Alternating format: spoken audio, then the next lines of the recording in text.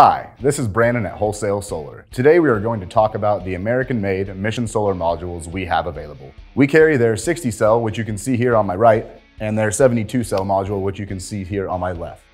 Both sizes are available in a few different wattages. Obviously, the main difference is the size. Usually, the amount of space available to your panels will determine which size is best for your project.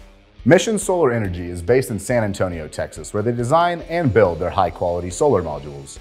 We like these panels because of their high efficiency mono PERC cells and the fact that they are built right here in the US of A. They are affordable and higher output than some of the imported modules as well.